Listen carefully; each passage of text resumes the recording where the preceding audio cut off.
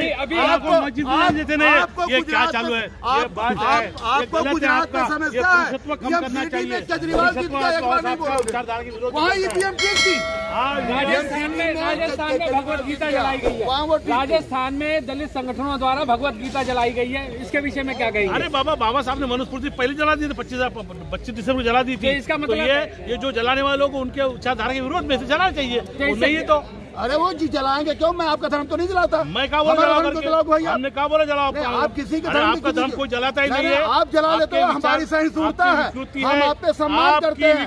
आप अपना समझते हैं, वरना हमारा धर्म जलाने वाला पैदा नहीं होगा। आप हमारे धर्म को जलाने वाला धरती पे महिलाओं में आप पुरुषों में लेकिन हम आपका सम्मान करते हैं आपको अपना समझते हैं। शेड्यूल कास्ट महात्मा बुद्ध आपने किसका था? बदनाम किया है। महात्मा बुद्ध को मानते हो ना? हाँ, तो कौन एक राजा की बन सकते हैं हमारे कौम हाँ, से आते हैं? और वो भी राजा आज भी ज़िंदा है। हमारे देश के अंदर आज हमारे कौम से आते हैं? बाबा गौतम साहब बुद्ध ने गौतम बुद्ध ने कभी साहब बोला नहीं कि कौम मेरे धर्म को मानो। हो? मेरे आचरण पे चलो मेरे बात पे चलो बाबा साहब के बाबा साहब की संविधान में भगवान। गौतम ने कहा था हैं? कि तुम मुझे मत मानो। मेरी विचारधारा पे चलो। मैं। बोल रहा हूँ इंसान है। 370 नहीं, नहीं पता। इंसानियत है मान- मानवता है मानव धर्म है। बाबा बाबा साहब ने उसको संविधान पे लिखित रखा है। लेकिन आपके मन के अंदर मनु व्यवस्था है। आप विचारधारा के विकृत है।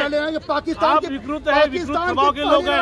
हम हिंदू धर्म के की विरोध में नहीं है। हम उसके रेजिमेंट विकृत के विरोध बनाते में बाबा हैं। साहब हम चाहते कि बाबा साहब के हो विचारधारा के साथ बाद चले। देश के लिए कितने- हैं। बहुत बड़ी बात बोल रहे हैं कितने सर, बहुत कितने बड़ी बात कुर्बानी बोल की रहे हो। आप देश की कितनी रेजिमेंट कुर्बानी की हो?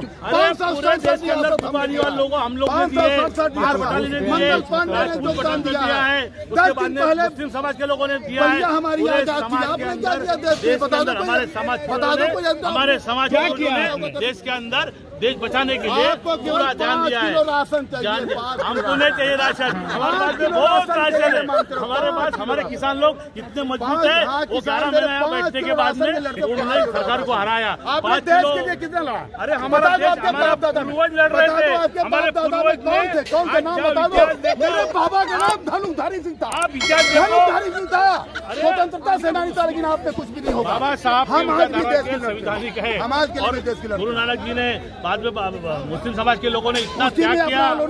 अरे गुरु नानक जी को तो मान लो, मान लोगों के लोगों ने बाकी जो बिरसा मुंडा थे उनके लोगों ने जो जो लोगों ने मैं सबको नमन करता हूँ जिस दिन बाबा साहब जिस दिन भारत के देश को बचाने के लिए हमारे साथ लड़ाई गया वो सभी को मैं नमन करता हूँ। हम हिंदू धर्म के विरोध में नहीं है हम उनकी विकृति विरोध में ऊंच नीच की बात आप करते हो।